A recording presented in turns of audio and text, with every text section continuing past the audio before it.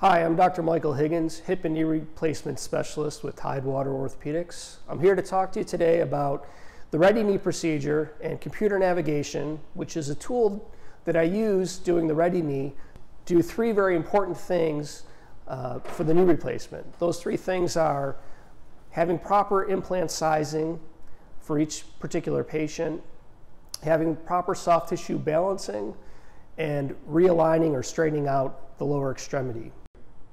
Computer navigation is both accurate and precise, and that differs from standard instrumentation that would be used for knee replacement, which is accurate but lacks precision, so that the range of your alignment is going to be much greater uh, from where you're pointing at. Uh, it lacks precision. And what I mean by that, uh, these are standard uh, instruments that would be used without computer navigation.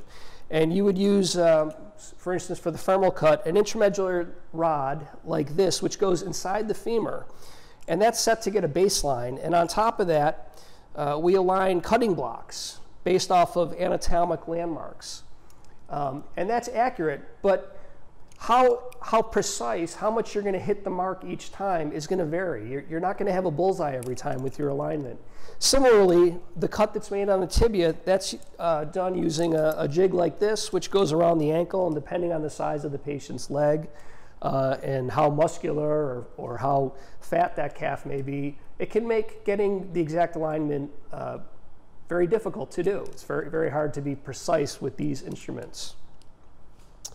In comparison with computer navigation, what we have in the operating room is basically a mini satellite system. So you have a camera eye here that's connected to this computer. These camera eyes see these points which are fixed. There's uh, four small pins, two placed in the tibia, two placed on the femur. And those fixed points allow the uh, computer to know where the leg is. By registering points around the knee, the computer makes a model of the patient's leg and their knee in the operating room.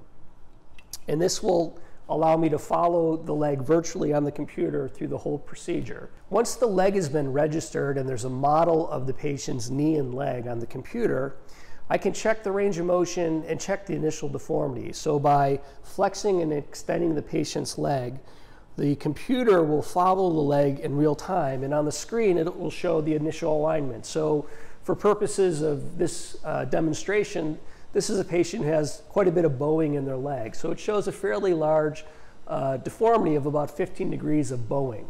So this is a baseline deformity uh, that we're starting with. So now we've made a model of the patient's leg and knee, and we've measured the initial deformity, which will be straightened out as part of the knee replacement procedure. The next step is to go to sizing the implant to fit the particular patient. Um, so with standard instrumentation, with sizing, again, you're using rods and jigs, which uh, don't give you a lot of room, wiggle room. You can move up a size or down a size, um, and that's about it. With the computer navigation, before making any cuts on the patient, uh, once we have the model, the computer makes a recommendation. So for this model, it's recommending a size 5 femur. And uh, if I don't like that 5 and I go down to a 4, that looks too small. Uh, let's go back up to 5.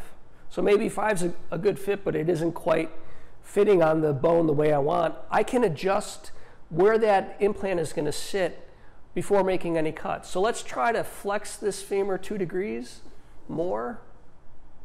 And let's move that cut up one millimeter anterior. Perfect. So with the computer navigation, I'm able to plan out what I'm going to do uh, to make the implant fit much more precisely. I'm able to move the implant or position it differently on the bone by flexing or extending um, or moving my cuts up or down and I'm able to plan this out before I make any cuts uh, on the patient's bone. So it's much more, um, much more versatility in doing it this way, uh, much more of a custom fit. When performing a knee replacement, it's key to have proper soft tissue balancing and alignment of the lower extremity, making the leg straight from being bow-legged or knock-kneed. And those are things that surgeons are going to feel. As you do the surgery and put the implants in, you're going to have a certain feel. Put the leg through a range of motion and test the stability of the knee, the soft tissue balancing, and look at it for the alignment. And that's fairly accurate, but it's not very precise. It can vary from one patient to the next. And this is where the computer navigation is very, very helpful.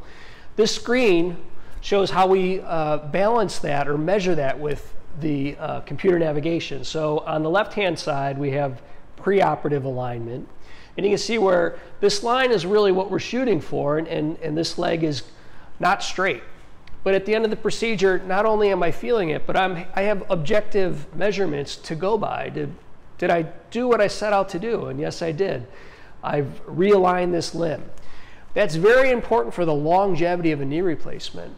If your leg is not straightened, uh, if you haven't corrected the bowing in your leg uh, that's there from arthritis with a knee replacement, the knee re replacement is not going to last as long because it's going to wear unevenly on one side, which can lead to early loosening and failure of the knee replacement. So just another point uh, that makes computer navigation uh, key in doing the best possible knee replacement and having the longest lasting knee replacement.